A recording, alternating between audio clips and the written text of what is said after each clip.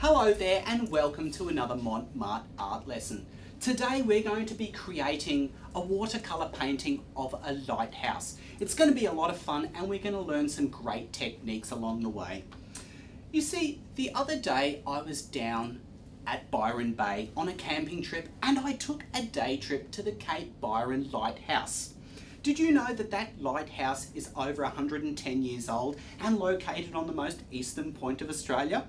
Well, I took my sketching pad with me and some watercolours and I created a quick study on site.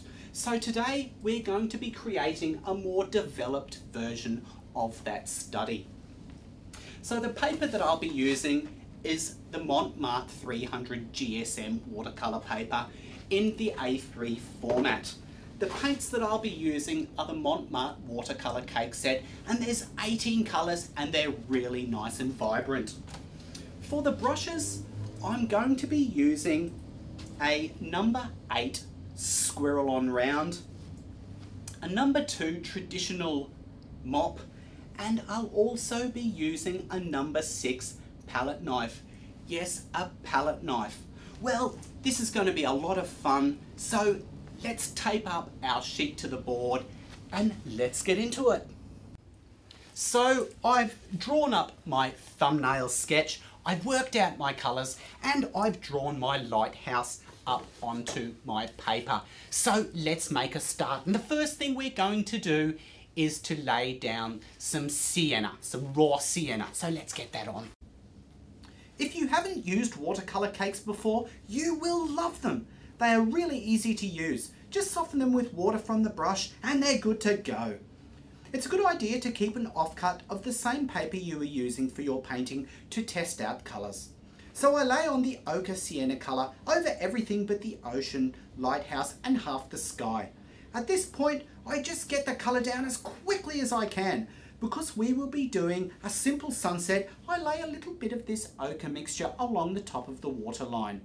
As I do this, I don't recharge my brush with more paint. I instead dip it into the water and move the wash up the page, thereby lightening it. As I do this, I work around the lighthouse. I then lay a strong strip of ultramarine across the top of the page. I handle the wash the same way by diluting the paint with water as I move down the page. Again I take care to keep the colour out of my nice white lighthouse. The Mont Marte Squirrel-On is the best brush for this because it holds so much liquid. It's one of my most treasured brushes. Now I create a green mixture from phthalo green and a touch of ultramarine. This will be for the ocean. I want this mix to be quite bright as I will be glazing on top of it. As I lay this in, I curve my strokes around the rock and dilute it as I go, so it is lighter closer to the shore. While the wash is still a little damp, I pick out some pigment with my palette knife. I keep my palette knife close by because I'll be using it to create the rocky cliff my lighthouse is perched on. The first step is to create a dark colour from black and Prussian blue and lay it onto the rocky cliff area. With the palette knife, scrape the surface of the paint back in square shapes. The trick here is to only do small areas at a time.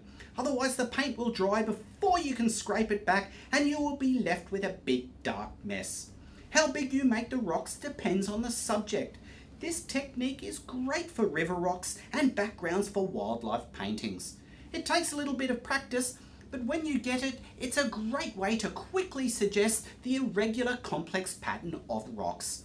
Remember to leave the darks in at the end of a stroke because these are the shadows. I then create a green for the grassy foreground. The problem I have noticed with some watercolour paintings depicting grass is the colour is a bit too green, I think. It's more believable if a fair bit of yellow is used. So our rocks and foreground are done and the background is now ready for our glaze. Now, a lot of people don't think about glazes and watercolour, but if they're done properly, they can be quite effective. The secret is just wait for the underpainting to be bone dry and be fairly quick with your paint application. If it's not bone dry, then you will displace the underlying paint and reactivate it. So the first thing we're going to do is to create a slightly darker tone over the water here and on top of that green it'll create a really nice complex tone. The colour used here is an ultramarine with a touch of Prussian blue. I then create an orange red from crimson and medium yellow. I use the number two squirrel mop to lay the colour in in horizontal lines. So finally we can paint the main focal point of our painting, the lighthouse. Now the lighthouse is already white, so we won't be painting it. That will be taken care of from the white paper but we will be creating some blue-grey shadows. Now these shadows can be broken into four tones and if you refer to your printed out PDF it'll show you where to lay these shadows. So let's paint our lighthouse. I use the number two mop for this. I charge the brush and just use the tip. The colour is cobalt blue and black. Any areas in highlight are left and painted around. Keep the light source in mind as well. I add some water to the mix, thereby lightening it, and lay a wash into the whole side of the building. I lighten the mix again with more water and lay it into the tower.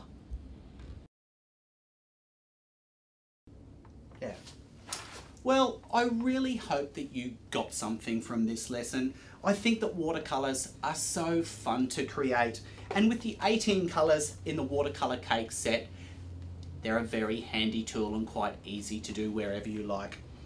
If you're not there now, then have a look at our webpage at www.montmart.net where we have lots more art lessons. In fact, our webpage is a really awesome resource for artists of all kinds with our Facebook, our blogs, and our family feed.